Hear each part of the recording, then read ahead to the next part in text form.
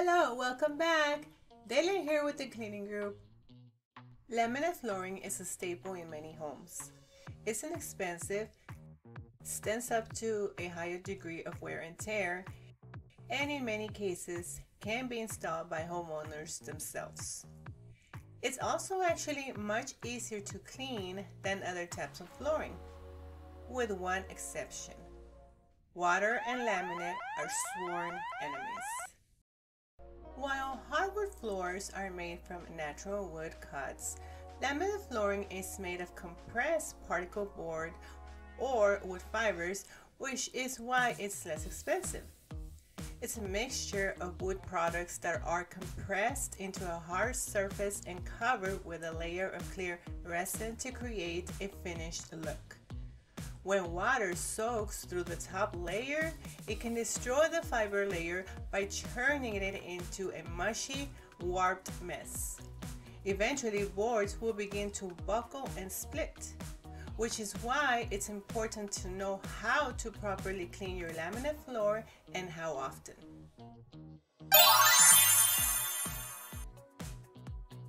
Broom or vacuum cleaner with a brush attachment laminate floor cleaner, dry mop or a cloth. Step 1. Remove dust and debris. This step is essential because every day your floor gathers dirt, crumbs, pet hair, and other undesired particles. If this is not clean, you simply removing the dirt rather than removing it. You can do this step in one of two ways. Use some good old-fashioned elbow grease to sweep the area you're planning to clean or use a vacuum cleaner with a brush attachment.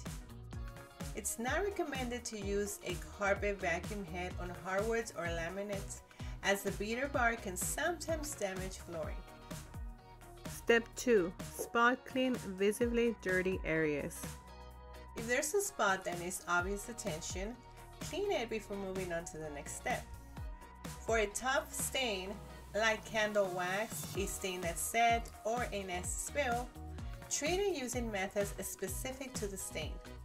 If the stain is easier to tackle, use laminate cleaner and a clean, dry microfiber cloth to remove it. Using a small amount of cleaner, work in circular motion until the stain has been lifted. For extra safety, spray directly onto the cloth instead of the stain to minimize your flooring's exposure to moisture. Step 3. Clean the entire floor. Now that your major stains are taken care of, you're ready to go on with the full floor. The easiest way to clean your floors is by using a spray bottle of a laminate cleaner and a dry mop or Swiffer with a wet pad attachment. A dry mop means that you're not repeatedly dunking your mop head into a bucket of water. Instead, the only liquid you'll be working with is the cleaning solution itself. Use the spray feature on the bottle of the laminate cleaner or add cleaner into a spray bottle and spray just enough to lightly coat the floors, but not enough to soak them. Remember to use as little of the solution as possible. Once you've sprayed a section of the floor, use the mop or Swiffer to carefully spread the solution over the floor as you lift any dirt and grime off from the floor. Step 4. Drying the floor.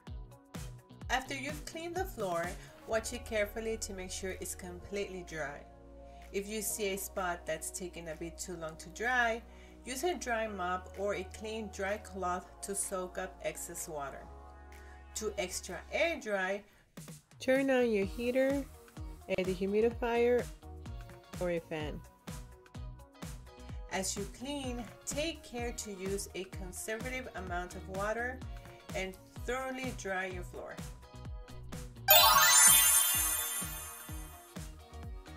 If you don't want to buy a laminate cleaner, you can make a DIY version.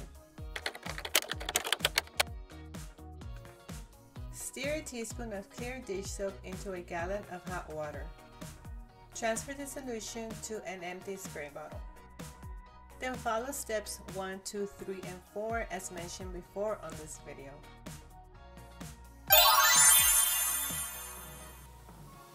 Floors are one of the quickest places in the house to fill up with dirt and crumbs. Daily sweeping and spot cleaning can help keep your laminate floors free of particles that could cause scratches and scuffs. Consider deep cleaning your laminate floors every two weeks to disinfect, protect, and shine.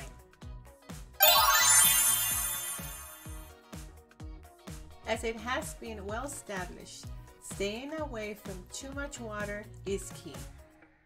Another high priority consideration is making sure that the cleaner you select is appropriate for laminate. Not all cleaners work. Oil-based cleaners will leave streaks that may be impossible to remove. And you should never wax or polish laminate. Those cloud the top layer of the laminate and cause floors to lose the shine you work so hard to achieve. For more tips and cleaning motivation, Follow us on social media and visit our website. If you enjoy watching this video, consider subscribing for more and turn on your notifications bell. Until next time, thank you for watching.